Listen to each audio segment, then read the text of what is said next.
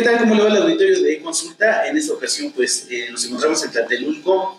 Eh, tenemos la grata oportunidad de poder entrevistar a la presidenta electa de Tlatelulco, eh, en esta ocasión Rocío Meléndez, quien nos recibe con los brazos abiertos, sobre todo de querer platicar con el auditorio. Muchas gracias por haber aceptado la invitación.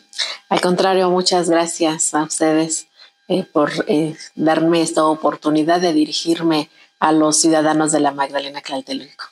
Oye, pues ya pasó el proceso electoral, ya dejamos a un lado la política, sin embargo es digno de reconocerse el triunfo inapelable que le dio la ciudadanía. Creo que eso es digno de reconocerse.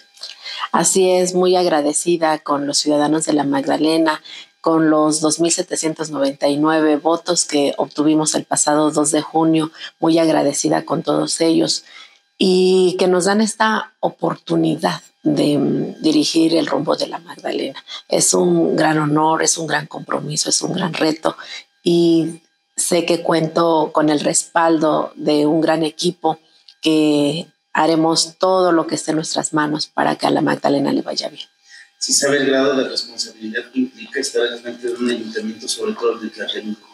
Así es, sé lo complicado que es, sé todos los problemas que existen. Desafortunadamente, esta administración, que yo lo puedo asegurar fue la peor de todas, nos dejará en muy malas condiciones la administración. Sé que es un gran reto, pero tengo la, capacidad y sobre todo las ganas y obviamente buscaremos el respaldo de las autoridades correspondientes a fin de que podamos hacer equipo y hacer un trabajo para que a la Magdalena eh, le vaya bien, cambie el rumbo para bien. Precisamente tocando el tema del cambio de administraciones, eh, ya empezó a preparar su equipo para eh, la etapa de la transición con la administración que se encuentra en este momento, con entrante Sabemos que esto también le implica también al órgano de fiscalización superior. Usted que ha tenido, al parecer también ha tenido algunas capacitaciones como para poder ya entrar en materia. Así es, estamos en espera de que el órgano de fiscalización pues se, inicie con este procedimiento. La ley establece que son 30 días naturales antes de la toma de protesta, entonces aún estamos en tiempo que, que nos convoquen y obviamente estaremos atentos a ese llamado. Y la misma ley establece quiénes son partes eh, integrantes de la comisión de entrega-recepción, de la comisión entrante, y pues daremos cumplimiento a lo que establecen los lineamientos y nosotros seremos muy respetuosos de los tiempos, de los procedimientos que la ley establece y que mm, una vez que seamos convocados acudiremos al llamado con toda la responsabilidad y la disposición de recibir la administración en las condiciones en que nos estén entregando. Me imagino que también ha pegado precisamente la ley, eh, no se trata de solapar a nadie, por el contrario, en dado caso de que hubiera necesidad, tendría que acudir ante la ley o iniciar un proceso o ampararse ante cualquier faltante o cualquier eh, situación que vean en la entrega de recepción. Sí, por supuesto, la ley es muy clara.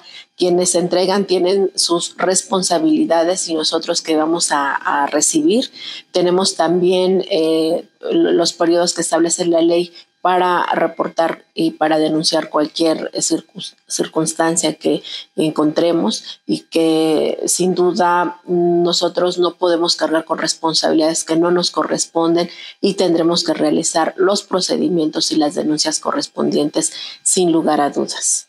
¿Ya tuvo acercamiento con su cabildo, con los integrantes de su cabildo? Digo, tiene que en algún momento sentarse con ellos, platicar, sobre todo para cerrar filas, porque el principal objetivo es el desarrollo de Tlatelolco. Sí, estoy en eso precisamente. Eh, creo que el objetivo principal es que a la Magdalena le vaya bien.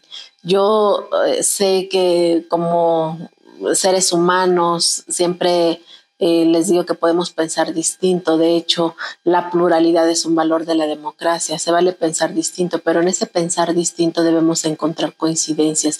Y yo creo que ningún integrante del cabildo, ningún eh, integrante de la administración pública quiere que le vaya mal al, municipio. Todos queremos que le vaya bien y yo invito a los integrantes del, del, cabildo, invito a mis compañeros que estarán integrando la administración pública, a los ciudadanos que hagamos equipo y que hagamos algo que marque la diferencia para bien de nuestro municipio.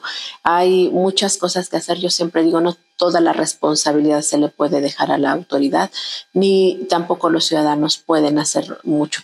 Debemos hacer equipo en todos los ámbitos. Creo que hoy es el tiempo perfecto para que hagamos equipo, para que cambiemos el rumbo y para que aportemos todo el talento que hay en el municipio. Aquí en La Magdalena hay muchos hombres, muchas mujeres, muchos jóvenes que mm, han destacado en distintas eh, categorías.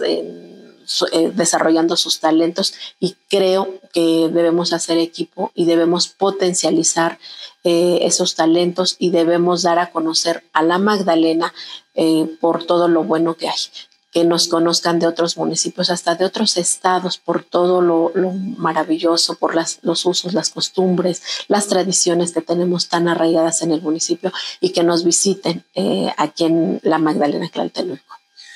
Eh, Rocío Meléndez, ¿qué características de su gobierno? En, campaña se dijeron muchas cosas, incluso se habló de un gobierno abierto.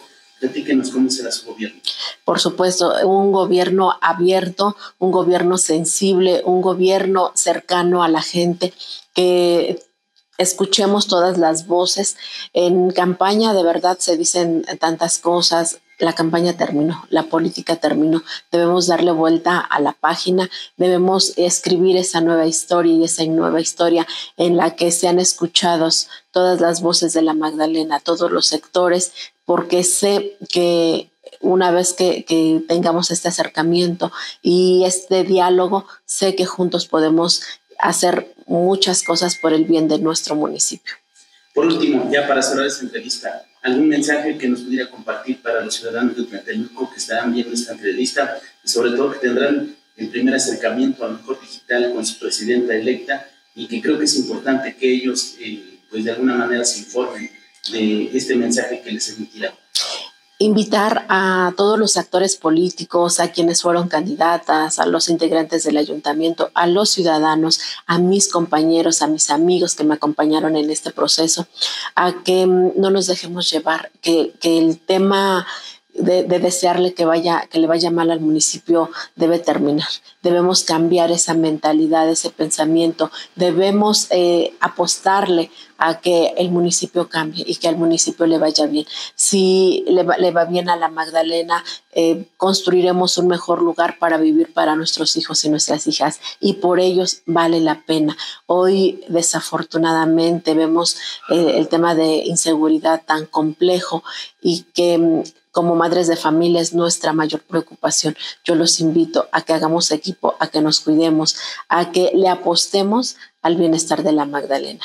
Que Dios los bendiga a ustedes, a sus familias y que eh, a su servidora me dé la sabiduría suficiente para eh, que podamos guiar los caminos de la Magdalena para un buen camino.